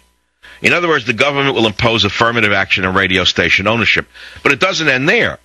The genius Lloyd continues, quote, we suggest three ways to accomplish this. Restore local and national caps on the ownership of commercial radio stations. Ensure greater local accountability over radio licensing. Require commercial owners who fail to abide by enforceable public interest obligations to pay a fee to support PBS. So this clown wants to forbid successful station owners from becoming successful. And if they don't play leftist shows on their stations, then he'll force them to support radical left wing programming on NPR. It's pure communism. Last week, Senator Charles Grassley sent a letter to the FCC voicing his concerns about this clown Lloyd's plans to destroy Michael Savage's conservative talk radio show. Grassley said, quote, Taken together, these statements represent a view that the FCC needs to expand its regulatory arm further into the commercial radio market. You see, it's an attempt by Obama to socialize radio and the media in the same way he's trying to socialize healthcare. Now, by standing up and making enough noise, conservatives have made the White House retreat on socialized medicine. And if we do the same thing with the attempts to make it government radio, Obama will have no choice but to stop this and fire this dummy. Government radio, GR, that's what you're going to get under the Obama minions. Now, socialized testing has failed. Well, the results of the standardized school tests in California have come out. And in spite of the billions and billions of dollars poured into racist programs to try to give minorities the advantage over whites, the results are pretty much the same. Asians and whites do about 30% better than blacks and Hispanics. This is actually the fault of liberals who have focused a generation of children on race rather than success. They've poisoned the minds of children with the injuries of the past rather than the opportunities of the present. And so an entire generation lives in the past, and an entire generation believes they cannot succeed because they've been taught that the white man is keeping them down. Well, it doesn't seem to work that way with Asians. After all, they're not Caucasian. How come Asians do so well if the white man is so bad? It has nothing to do with race, okay? Shame on you leftist teachers of California. The youth you teach will never succeed until you stop filling their minds with hatred and racism. You've heard me talk about Obama's socialist policies. I'm not the only one. Joining us today to help point out these warning signs of this administration's communist leanings is Wayne Allyn Root. Thanks, Michael. Have you read the headlines this past week? Obama has proposed trillions of dollars in new taxes, trillions of dollars of irresponsible, unsustainable new spending, with no way to pay for it all except to literally wipe out small businessmen and women and wipe out the upper middle class of America to enslave our children and grandchildren with a mountain of debt and heavy taxes for a lifetime. It is plainly and simply the very definition of socialism. Let's say it out loud. Obama is a socialist. There isn't any need to debate anymore. No point in even arguing. If liberals and biased liberal media won't face facts, I'm going to put the facts right in their face. Up close and personal, Jeff Foxworthy style. You see, Jeff Foxworthy literally defined rednecks. He didn't leave any doubt. All you could do was laugh and say, Jeff hit that one right on the nose. Well, I'm going to now define a socialist. And when I'm done, you can only cry and say, wow, Wayne sure described that Obama fellow. Exactly. If you want government to take over business, banks, car makers, Wall Street, hijack the entire economy, you might be a socialist. If you think it's fine and dandy for government to decide CEO salaries, to hire and fire CEOs, to pick board of directors of private companies, you might be a socialist. If you think 32 czars appointed by Obama can run the American economy by committee, even though few, if any, have ever run a business. And if you think it's okay to appoint a car czar who admits publicly he knows nothing about cars, you might be a socialist. If you want to give away as much as a hundred million dollars of taxpayer money to GM and Chrysler just so that they can go bankrupt anyway, but then hand the company to the unions that bankrupted them in the first place, you might be a socialist. If you want to pass cap and trade and convert America to a green economy to create millions of jobs, even though Spain is the greenest economy in all of Europe, and they have 18% unemployment, the highest in all of socialist Europe, you might be a socialist. If you support universal health care, even though a majority of Americans are happy with their present health plan, and government is the one that has screwed up health care in the first place with overregulation, even though government has run the U.S. Postal Service into bankruptcy and run Amtrak into bankruptcy, and the public school system is in shambles and loses tens of billions per year, and Medicare and Medicaid threaten to bankrupt the entire economy with their gigantic losses, all run by government, and government has run up $5.3 trillion in unfunded liability just for pensions and free health care for government employees, and you think government is the answer to cutting the cost of health care, you might be a socialist.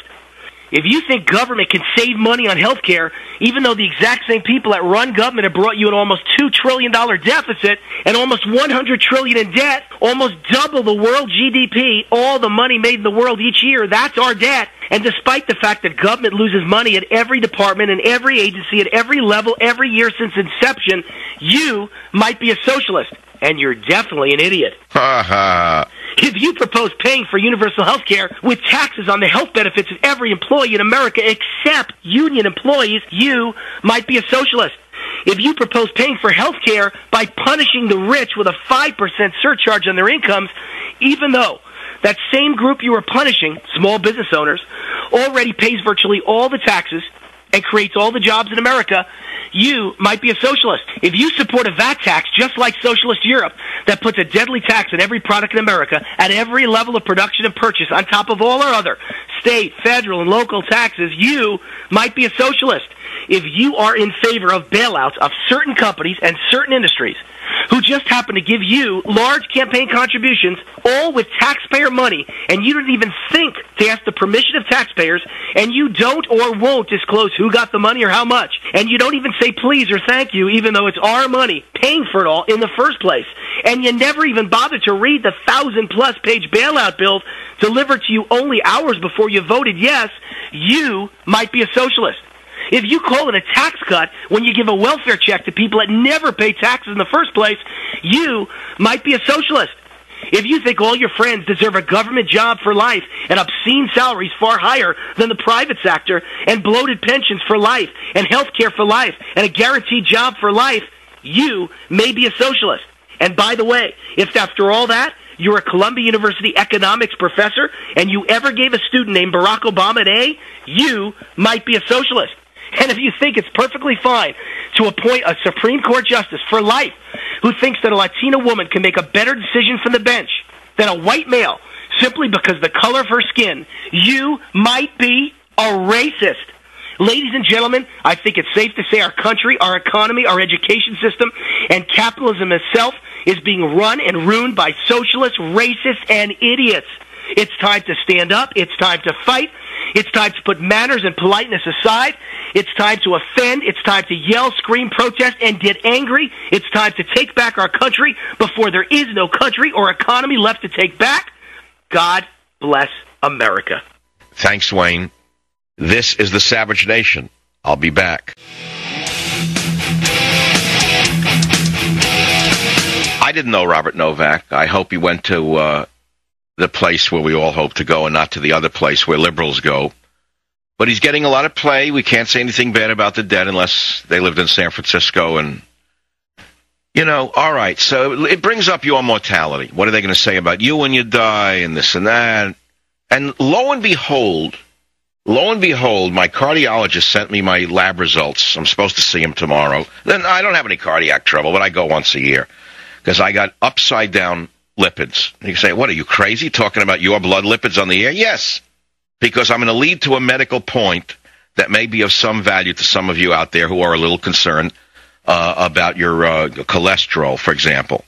And so many Americans are being sold on Lipitor and Lipitor-like drugs who may not need them. And I want to talk about that for a minute because there are other things that you might be able to do that are not drug related, but the society is drugged to death whether they're on antidepressants when they don't need them, or they're on anti-cholesterol medications when they may not need them.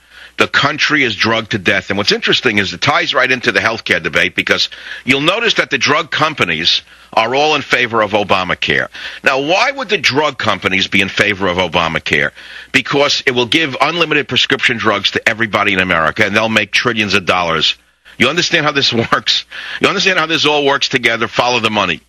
So let's go back to the fact that, oh, yeah, drugs are lifesavers, don't get me wrong. But they should be used as a last resort, not on a recreational basis, as is being done in this country. Many of the American people today are practicing recreational medicine. Everybody in this country thinks something's wrong with them and gets a prescription for it. Now, in some cases, I said RXs can save your life, but in most cases, they're useless or dangerous, okay? Now, having laid the groundwork for that, I want to go back again to what I'm talking about. For years, I've struggled with upside down uh, VAP uh, profiles, my LDL high, my HDL low, my overall cholesterol through the ceiling, triglycerides high. Whatever you look at, it's upside down. So if a normal person got this, they would run and say, I, I'd do anything because I think I'm going to die. But it's been like this for 20 years. But I'm not dead. And thus far, I haven't had a heart attack, so it doesn't make sense unless you get an, an even more refined test, which I got. Now, remember, I come from a family of early death by coronary heart disease. I don't want to give you the ages and turn it into a joke, but I've been running scared about a heart attack since I'm 30, maybe 20, which is what drove me into the jungles of the South Seas, collecting plants, drove me to get a PhD in epidemiology and nutrition, drove me to research and write books on health before I went into radio I'll never forget when I entered radio in 1994. I said this is probably going to kill me younger than I normally would go, but it'll be worth it. And you know, every day is a miracle to me. But I'm still here 15 years later, and the stress level's as high as it could be. You have to say, well, how the hell does a guy live like this with this kind of stress? People have said to me, I blow off steam on the air, so therefore I'm alive. All right, that's one way to look at it. It's probably folklorically true. What I'm saying is I have a zero LPA. Last time it was very low, like a zero one. Now it's a zero. It's because I've been dosing myself to, to, to, to life with fish oils and a few other things. What I'm getting at is I have no control by and large over the LPA other than taking lots of vitamin vitamin C. But it's genetic. So I must have inherited from my mother her LPA levels. She died at 88. My dad, may rest in peace, died at 57. I'm hoping that my LPA is inherited, uh, was inherited from my mother, but I definitely got it from someone. On to other topics. I grew up with a dog. I was very lucky. Even when I was a kid, I had a dog. I've had a dog all my life. Always had a dog. And, uh, mm, well, I wrote about Tippy and all in, in psychological nudity. He was the part chow. Lunatic dog ripped my foot open when I was 11. And now I have the smartest dog I've ever had in my life, which is a small 10 pound, uh, they call it a toy poodle. I don't like the word toy when it comes to an animal. There's nothing about a toy about him. It's like a condensed poodle. You say poodle, you think foo foo, weak. You know, a real standard poodle is not a weak dog. They're phenomenal watchdogs. And a, uh, a small one, well, let me put it to you this way. Uh, would you like to be bitten by a gopher? Would you like to be bitten by a rat? Would you like to be bitten by any animal with sharp incisor teeth? No. So why would you think that a 10 pound animal with sharp teeth is a weakling? You know, don't underestimate any dog. That's all I can tell you. If you've ever been bitten by a dog of any size, it's going to be quite, quite an awesome experience. But Teddy is not a watchdog, okay? He's not an attack dog. He's just a, a companion. Great ears, great sense of smell. Sometimes I hold him in my arms. I love to hold him in my arms on a, let's say I'm out on a, a walk somewhere and I see somebody in the distance. Now, because I'm a man, I'm taller than him. I hold him in my arms where I put his head up at my level and I say to him, what do you smell over there, Teddy? What do you hear over there, Teddy? And I love to watch that nose go to work, to watch the sensor called the nose and see the olfactory organs, you know, you see and they start to inhale molecules out of the air, or you could see the ears. I love to watch dogs' uh, actions. Anyway, I've always been a, a dog uh, lover, I, in that regard. I remember one of the first books I ever got on dogs was called The Expression of the Emotions in Man and Other Animals by Charles Darwin. I know that won't go over very big with uh, creationists, but it has nothing to do with creationism. It has to do with observationism. And uh, Darwin was a heck of an observer, irrespective of whether you believe in evolution or not. It, it doesn't matter. He was one of the finest observers in history uh, in terms of his uh, capacity to understand comparative anatomy. But when he wrote the expression of, I wonder where that book is. I'll never forget it because he showed pictures of man and his various expressions. Darwin did. And in the same book, he showed dogs' expressions and their various uh, meanings. Keen observer. Savage. I want you to listen to some of what Obama had to say the other day about Afghanistan. You know, the war that all the leftists support because Obama is for it. Listen to him agonize about Afghanistan. As I've said before, that is the first thing I think about when I wake up in the morning. It's the last thing that I think about when I go to sleep at night. And I will not hesitate to use force to protect the American people or our vital interests. It's eerie how much this speech sounds like the lead up to Vietnam in the 60s. Obama may as well be LBJ saying these words about going into Vietnam. The insurgency in Afghanistan didn't just happen overnight, and we won't defeat it overnight. This will not be quick nor easy. But we must never forget this is not a war of choice. This is a war of necessity. Those who attacked America on 9 11 are plotting to do so again. If left unchecked, the Taliban insurgency will mean an even larger safe haven from which Al Qaeda would plot to kill more Americans. So this is not only a war worth fighting, this is fundamental to the defense of our people. Fundamental to the defense of our people? What are we defending against? What are we fighting for? Why are we there? To help the Afghanis? That's what he seems to be saying here? Going forward, we will constantly adapt to new tactics to stay ahead of the enemy and give our troops the tools and equipment they need to succeed. And at every step of the way, we will assess our efforts to defeat Al Qaeda and its extremist allies and to help the Afghan and Pakistani people build the future that they seek. Why do we need to help them seek a better future at the expense of American lives? His hypocrisy on this is terrible. What's even worse is the hypocrisy of the anti-war left, which has disappeared. Although the mainstream media ignores my battle to get my name off the banned list in Britain, I do have some supporters who do speak out regularly. One of them is Professor Ellis Washington. Joins us now to talk about a second part to the article that he wrote, Savage, Silence of the Lambs, which can be found on michaelsavage.com and WorldNet Daily. Professor Washington, welcome back to the Savage Nation. Please give us some background on this second part of the article. What was your thought process? Well, Michael, as I said earlier, I always want to keep up with what's going on with you, with your blacklisting in Britain, and we all in the Savage Nation are waiting with bated breath to the day that your name is finally vindicated and you're removed from that list. In the meantime, I want to do all I can as a journalist, as a commentator for WorldNet Daily to trumpet your cause as new information comes out. And so with this latest information that's been going on with your lawyers, in, in Britain and in America getting discovery and key documents that reach all the way to the highest levels of Prime Minister Gordon Brown's administration in England. I wanted to just update the Savage Nation audience and those out there with some of the latest information.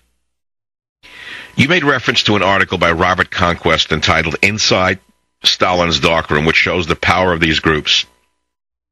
Indeed, Michael. King Solomon, the great king and prophet of the uh, Old Testament, once said, I believe it was in the book of Ecclesiastes, that there's nothing new under the sun. So when I saw these terrible Stalinist tactics, these terrible enemies lists and blacklisting tactics launched without provocation against you, uh, Mr. Savage, I was very ticked off and angry, as you were, sir.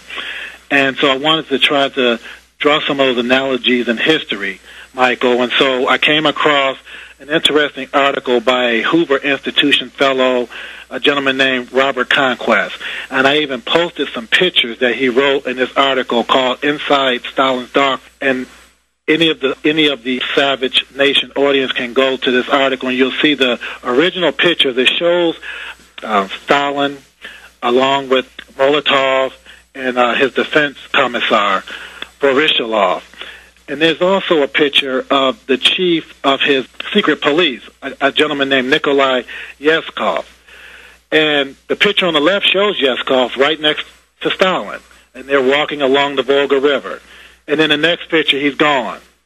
And you're like, well, this is the same, obviously the same picture. What happened to Stalin's uh, chief of police? Well, as we all know from history, Stalin was, uh, among other things, he was megalomaniac, and he, he was very you know, paranoid about people trying to do him in and things like that. And so the Yezhov guy got on Stalin's bad side, obviously, and in 1939, Stalin had him disappeared. Now, this goes beyond just removing him from pictures it goes to something even more deeper, more sinister, Michael, into removing the name of this man from all recorded history.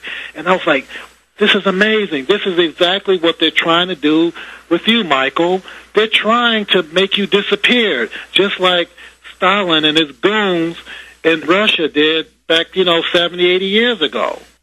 If the mainstream media had its way, I'm sure they'd make me disappear from the airwaves just as quickly as they could. But unbelievably, one of the more liberal magazines, The New Yorker, did what I think is an outstanding article on myself and the situation I find myself in.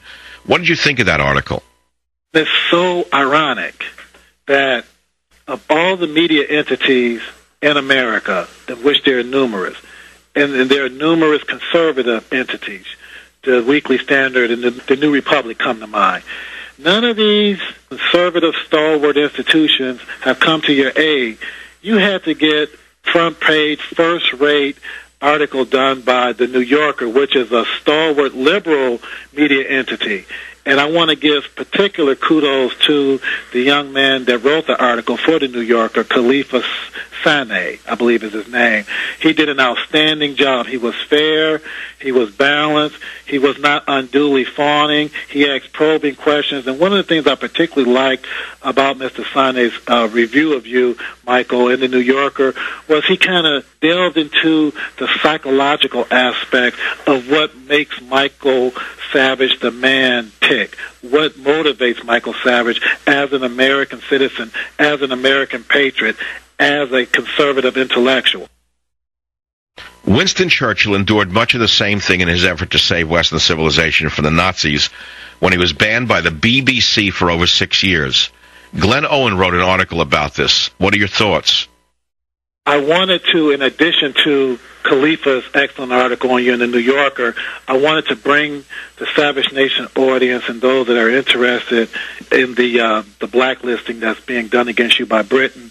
I wanted to bring their attention to Glen Owen's excellent article that was published in the Daily Mail. Like you said, it was a, f- a few weeks after Kelefa's article. And several things that Mr. Owen said in his article were very chilling. One of them was he was uh, talking about some of the, the emails that came out of the Gordon Brown administration. One particularly said, it was on November 27th, and it said, with Weiner, in parentheses, Savage, I can understand that disclosure of the decision will help provide balanced types of exclusion cases. And another uh, re- email that was marked restricted, it said, quote, we will want to ensure that the names of disclosed reflect the broad range of cases and are not all Islamic extremists. And another one from the uh, Home Office said that they wanted to include Weiner in their quarterly stats uh, and also as part of the, the, the Foreign Secretary and the Prime Minister are firmly behind naming such people. So we can see, Michael, that this blacklisting and this Alfred Dreyfus like slandering and libeling of your name went to the highest levels of the Gordon Brown administration. It's unconscionable, Michael. In conclusion, where do you think this is going to go and what will be the outcome? Well, Michael, while I'm sorry that this happened to you, if this had happened to just a regular Joe Blow like myself or just an average American who didn't have the resources that you have to hire lawyers in America, in Great Britain. You have a top flight legal staff working around the clock to vindicate your name.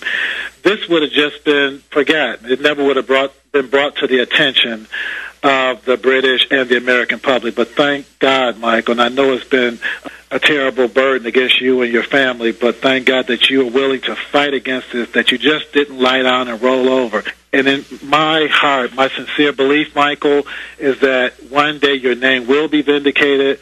The British government, whether they want to or not, will have to acknowledge the terrible injustice and the, and the tragedy that's been brought against your name. And they're going to have to give you a formal apology. And also, I think as further discovery is being brought to bear, that you'll be able to see unmistakably that there's a connection between the British government and the Obama administration. We're already starting to see uh, evidences of that, but I think as time goes on, Michael, you're going to see that there's key people in the Obama administration that was directly in collusion with the British administration, and that you're going to see that they were in collusion against you. And all that's going to come to light, Michael, very soon. Professor Washington, thank you again for another great piece and for being on The Savage Nation. Once again, Michael, I want to thank you and the Savage Nation for bringing me onto this wonderful show. You are in the vanguard, Michael. You're on the front lines in the battle for freedom of speech and freedom of expression for all Americans and for all those in England. And one day, Michael, I believe that your name is going to be vindicated, and I can't wait for that day to come. Thank you, Michael. This is the Savage Nation. Be here or be nowhere. Here's what's on michaelsavage.com. First of all, you're not going to believe this. But San Fran Psycho wants to shield illegal alien criminals from the feds. This jerk, a so-called supervisor, would pass a law which would make it more difficult for officials to hand over illegal youths suspected of crimes such as murder and drug dealing. I wonder which side he's on. Can you figure that one out who put him in office? I think I can. Doesn't anybody in San Francisco represent the real people instead of the criminals and the leeches? Can you name one supervisor who does represent the people rather than the criminals and the leeches? I can't. Now, don't miss Banned in Britain. First printing, first edition. Michael Savage's new book. Read the secret emails disclosing how the British government colluded to destroy a man's name and reputation. It is selling like hotcakes. Click on michaelsavage.com to get your copy.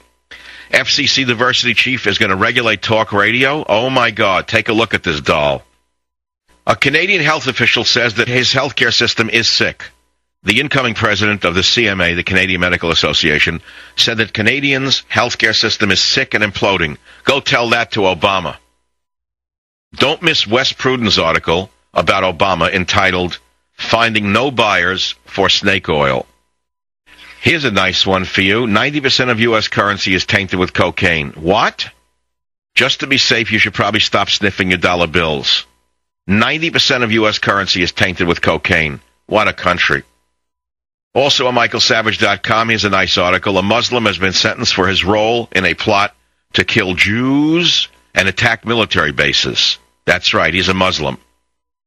And yup, on the bottom of michaelsavage.com, as you guessed, Sotomayor joins the three liberals in her first Supreme Court vote. The new justice joined a dissent by three libs on the High Court to try and stop the execution of a convicted murderer. The bum is scheduled to die this morning by lethal injection. Go to michaelsavage.com to read all about it. Play some music. It is the Savage Nation, the middle of August, late August already. Most normal people are on vacation. They're in psycho land, drunk every day. What are they doing on vacation? Sit in the room. What are they going out for ice every two? Ice. That is so 1950s. The bucket with the ice. Is that what you're supposed to do? Go go in a room and sit and drink whiskey? I don't get it. I mean, why go anywhere to do that? I, anyway, look, to each his own. I'm a, you know, in that regard, I'm really a libertarian. I've told you that I'm a sexual libertarian. I've said that a hundred times a, a week, but no one seems to hear me. I don't care what you do to stimulate your various body parts. As long as children are left alone and you stay away from marriage, I don't really care. That's all. How hard is that to figure out? So, what am I want to doing here? I'm sitting here drinking tea, doing a radio show. I have a cup. I have a tea. The cup is a naval cup with a wide bottom. I like naval items. Nautical and naval items are my my hobby, okay? This is a cup I got from a guy in Seattle. It says daily flogging will continue until the crew's morale improves. There. That's interesting. Daily flogging will continue until the crew's morale improves. That's my idea of how to raise take a child out of being a junkie. Oh, how come you why do they coddle them for? You throw the drugs out the window, you step on the hypodermic needle with your boot, and you throw the kid in the street. And that's all. Don't enable him. The, the first sign you got to you got to try strike back. The first sign you strike back. The minute you coddle that child, you're co- you're helping him become a junkie. The the minute you coddle him and understand him, he's finished. You've ruined him. That is the world I am. Uh, that's the world I was brought up in. I say it's too harsh for the world of today. You know, you may be right. I've been thinking about it. The world has changed. The society has changed. Take a look at what we have in the White House. Imagine a man like this in the White House 20 years ago? Impossible. How could so many people have fallen for this joker? How is it possible? All right, there were Democrats who were legitimate candidates who had experience and we knew who they were and, and with whom we could trust the country to hand it to them. I wouldn't have liked their policies necessarily, but I didn't have doubts about where they were born, where their loyalties lied. But this guy out of nowhere, he even beat the Hillary Clinton machine. How'd this happen? Ah, but that's neither here nor there. You know, I was thinking about this the other day.